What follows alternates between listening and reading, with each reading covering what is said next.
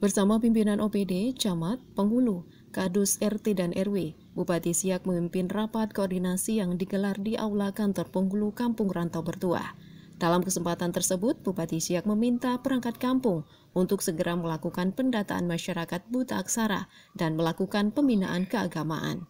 Selain itu, penghulu juga diminta melakukan sinergi bersama masyarakat dalam peningkatan kesejahteraan yang sejalan dengan program pemerintah.